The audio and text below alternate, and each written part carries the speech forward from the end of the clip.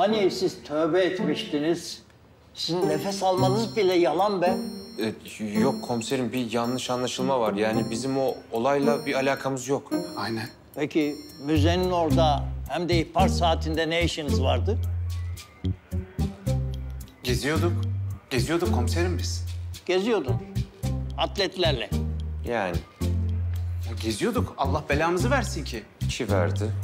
Yani biz geziyorduk komiserim. Hem o- orada olay olmuş bizim haberimiz bile yok. Ne oldu? Ciddi bir şey mi var? Biz anlamadık da yani şeyle Demir'le. Ne oldu orada? Peki bu havada yarı çıplak ne işiniz vardı orada sizin? Ha? Ya şimdi biz sabah evden çıktık komiserim. Hava güneşli. Ama gölgede tabii İstanbul'un havası biliyorsunuz serin. Yani orada da Uğur e, bırak ben anlatayım. Anlat. Dinliyorum. Ee, komiserim... Çok utanıyorum.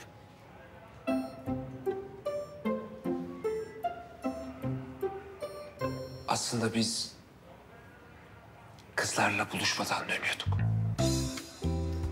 A- aynen, aynen komiserim. Biz manitacılıktan geliyorduk. Ben anlatırım tamam Uğur.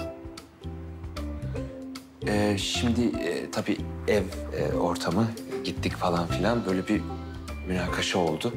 Ee, olunca da tabii biz e, olmuyorsa bu böyle kapıyı çarptık çıktık. Tabii o, o, o anki halimizle yani çıktık. E şimdi memur arkadaşlar da durdurunca biz utandık söyleyemedik yani. Ya nasıl diyeceğim? Manitacılık nasıl?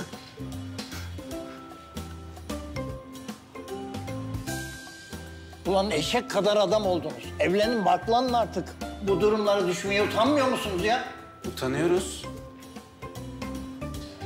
Neyse ki müzeden bir şey çalınmamış. Arabanızdan da bir şey çıkmamış. Yani bir durum yok.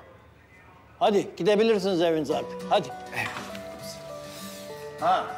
e, Bir daha burada sizi görmeyeyim ha. E, yok e, komiserim biz bıraktık o işleri. Aynen.